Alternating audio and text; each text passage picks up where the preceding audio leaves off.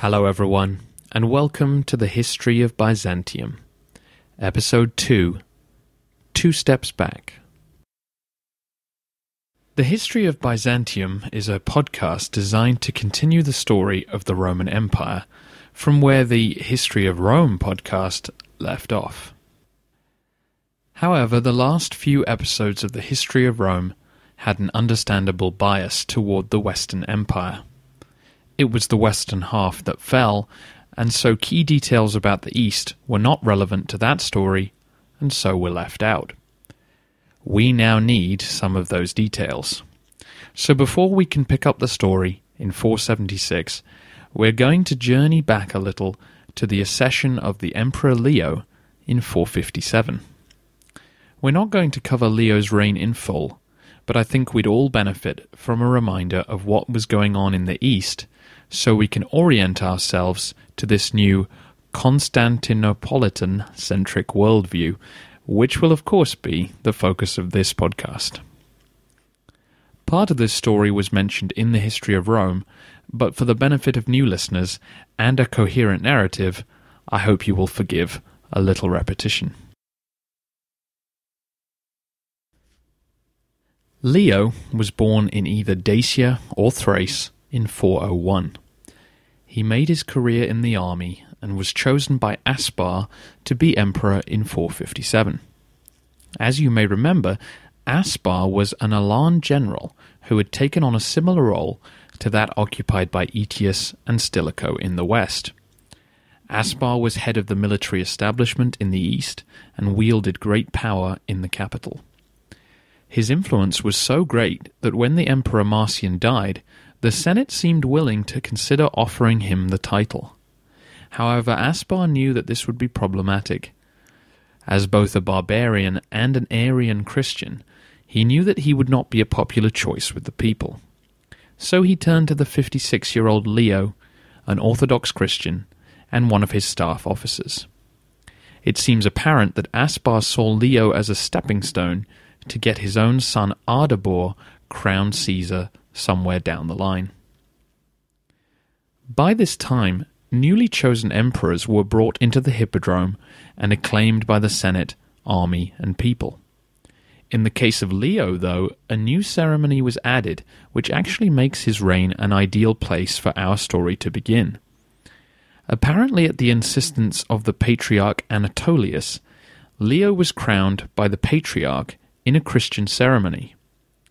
This new Christian ritual is a nice roadmark of the change from when a princeps might be raised on the shields of his soldiers and made emperor to the world of Byzantium, where the emperor was seen as God's agent on earth and protector of all Christians.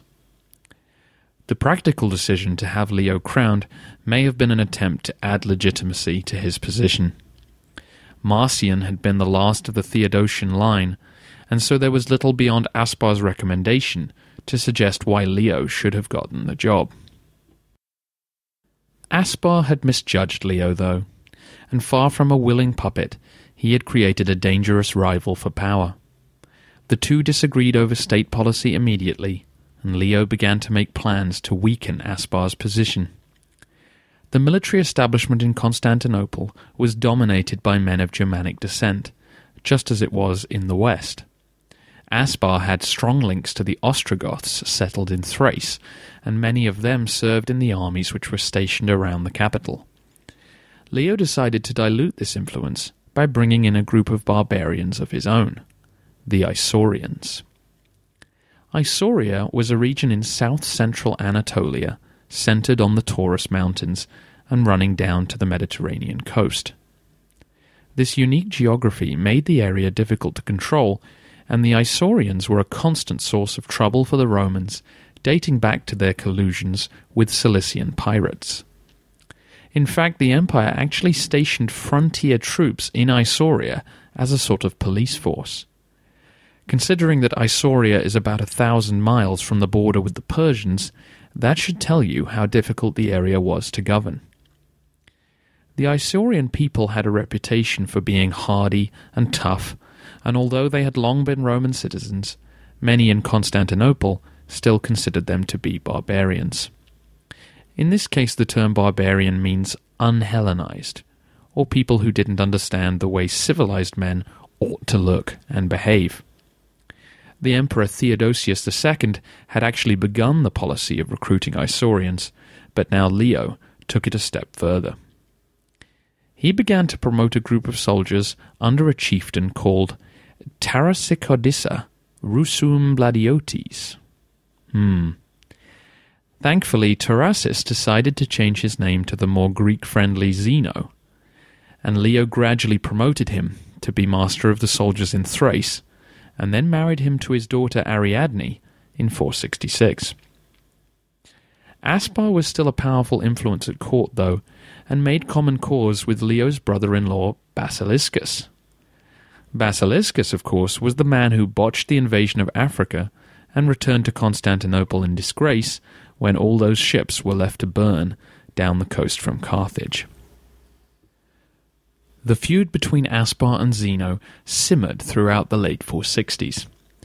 It appears that Aspar may have been responsible for a mutiny amongst the army in Thrace, which led to Zeno abandoning his post and fleeing in order to save his life. It was an experience that may have taught Zeno a valuable lesson. In 470, a plot was uncovered linking Aspar's son Ardabor to a scheme to undermine the emperor and turn the Isaurians to Aspar's cause. This was the last straw for Leo, who had Aspar and his son executed.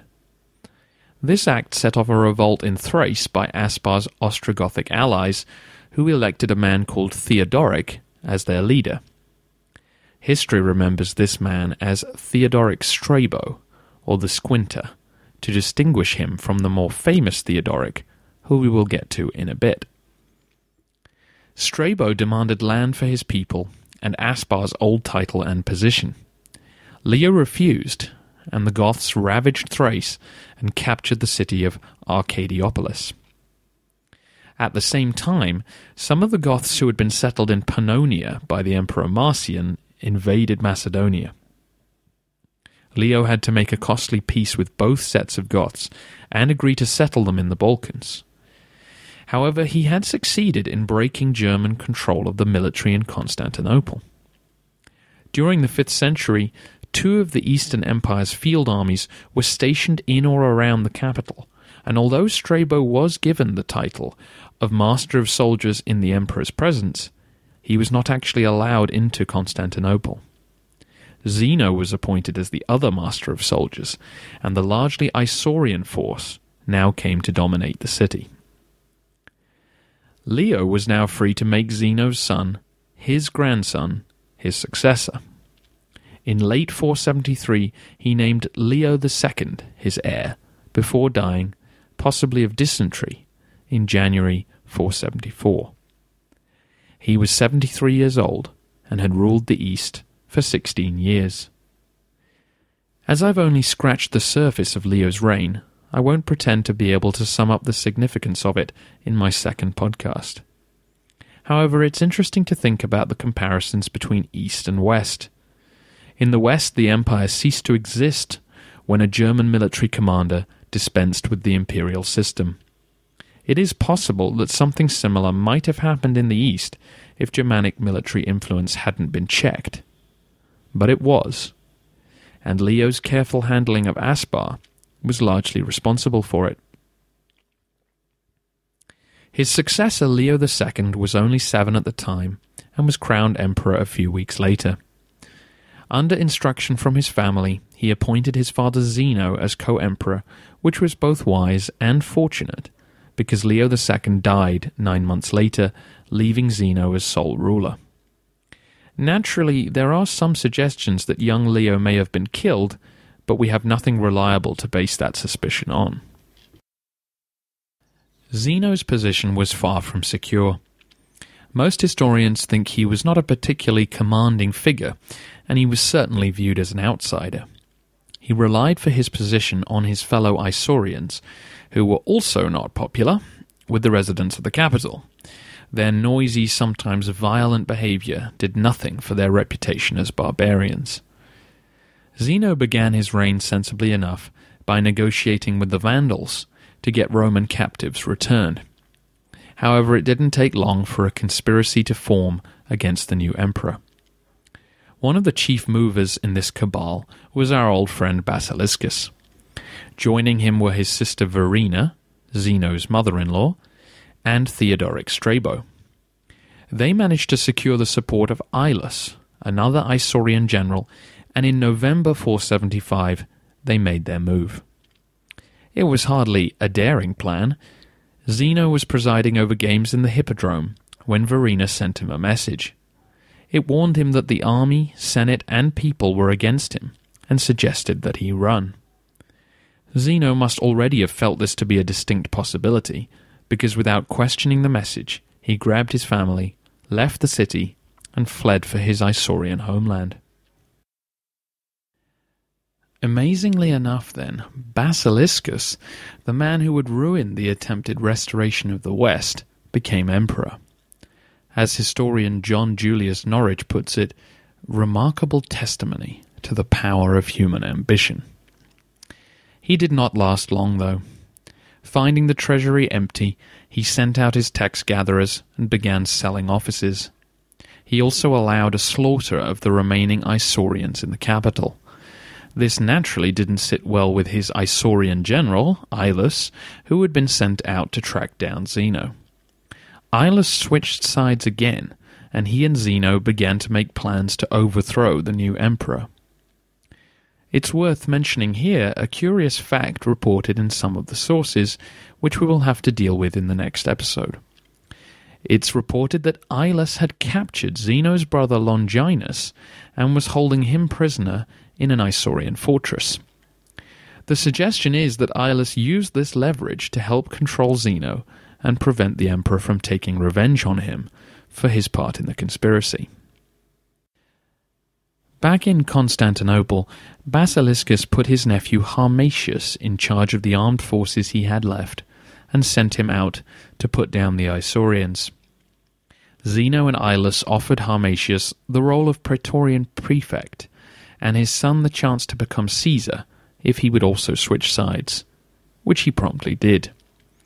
In July 477, the Senate threw open the gates for Zeno, who reclaimed his throne only twenty months after vacating it.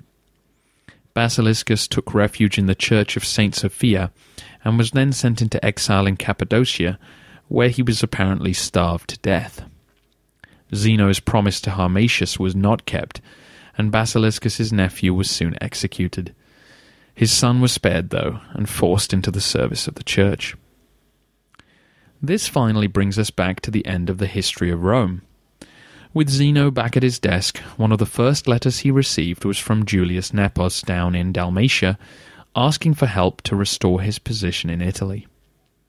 A short while later, Odoacer's ambassadors arrived with their master's message that Zeno should consider himself the sole ruler of the Roman Empire, and that Odoacer was content with the title of patrician. Zeno's response was to write to Nepos, assuring him that he recognized him as the rightful Western emperor, but that, ah, uh, my support is only of the moral variety. He then sent a letter to Odoacer saying that he really ought to let Nepos back into Ravenna. Go on, be a good sport. However, the letter to Odoacer already addressed him as patrician, a title which Zeno neatly claimed he wasn't conferring, but one that he considered already his. There's not a lot more Zeno could have done. After the massively expensive failure to take back Africa, it wasn't practical or possible to mount another expedition to restore the West. Zeno's own position was barely secure, and his western field armies were dominated by the unreliable Goths. So when the diadem and imperial cloak arrived at Constantinople, Zeno was forced to shrug and accept that he was the only emperor of the Romans now. Before we move forward with our story, there is a rather large issue I think we need to address. Basiliscus had managed to anger the people of Constantinople in another way that I haven't mentioned.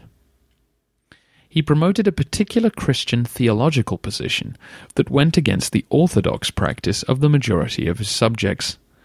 He was a Monophysite. Although Christianity played an important role in the history of Rome, it's going to play an absolutely massive one in the history of Byzantium. Part of the change from classical to medieval worlds is the part Christianity came to play in the lives of the citizens of the East. It's important in particular to understand a little more about Monophysitism, as it will continue to play a role in our story for some time to come.